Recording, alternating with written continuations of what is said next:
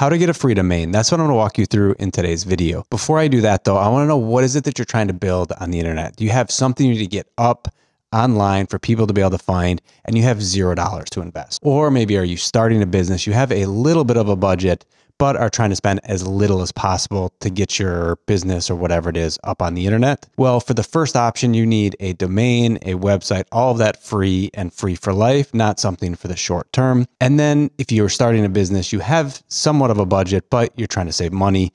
So there's a bunch of options on how you can get a domain free for the first year. And then I'll show you how to pay as little as possible for your domain going forward. At the end of the video, I'll show you where we end up purchasing our domains from. One place you may see mentioned in other YouTube videos, blog post articles, etc., is Freenom. So this isn't something that I would recommend. They advertise that you can get a free domain, but I haven't actually been able to get a free domain, and they're not domains that you would probably want for your website anyways. So if you put in something that you're searching for and click search, they show you .tk, .ml, .ga, .cf, and .gq as something you could potentially get for free. But when I go to click on get it now, it always says unavailable. And I go to check and there's nothing at that website. So if it's jeffreythalen.tk or the figco.cf, there's nothing at those websites, but they're not available here. So this is just something I wouldn't want to go through the whole process, have something not work out, give them all my contact information. Maybe they want your credit card number who knows? I would just do one of the other options I talk about later on in this video.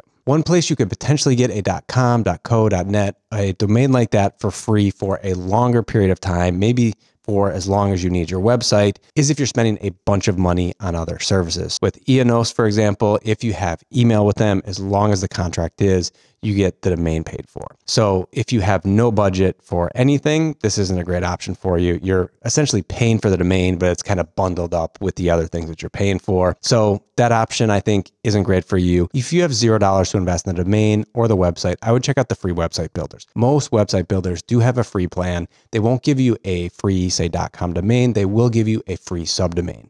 So a subdomain looks something like this versus a normal domain that you own. Not a huge deal if you end up going with something like this that costs you no money.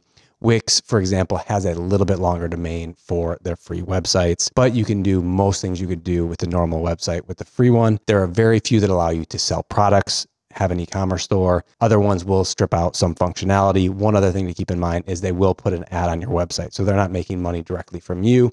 And so they're hoping somebody that visits your website will see the ad, click on it, build their website, and give them money. As an example, here's what the ads look like for Wix and Weebly.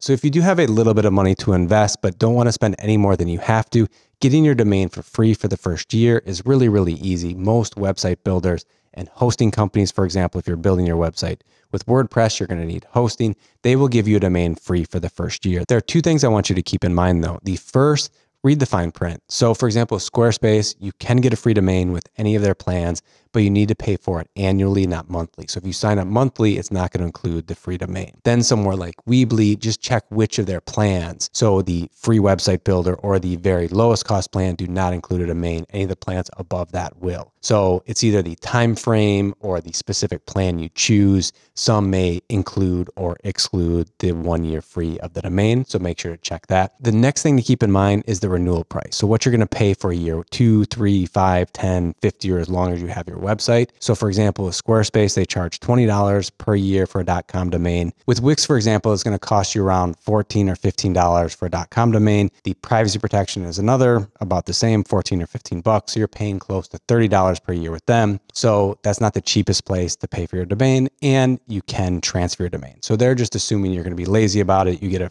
free year and then you're just going to keep it there forever if you transfer it, you can save a bunch of money. I'll tell you where in just a second. In this scenario where you're not ready to build your website yet, but you want to have the domain, you're not going to be able to get a free domain for any amount of time. There's nothing you have kind of in exchange to be able to get it for free. So you want to pay as little money as possible for that domain. I wouldn't recommend purchasing from somewhere like GoDaddy. So you see the first year here, they'll give it to you for a penny, but you have to pay for year two at the same time, which is 19.99. So you spend 20 bucks for the two years, so 10 bucks per year in that scenario.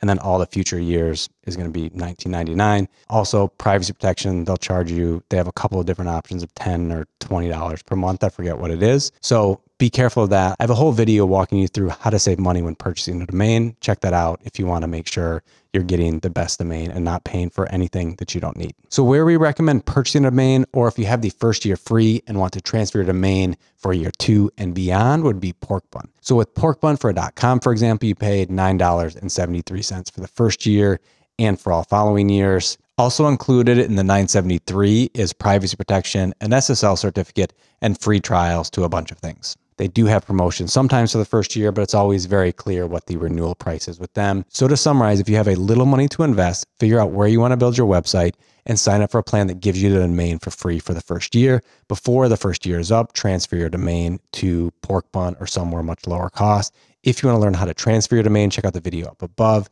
If you have no money to invest, we recommend that you sign up for one of the free website builders and just use a free subdomain and you can have that open forever. If you want to learn about options for free website builders, check out the video below.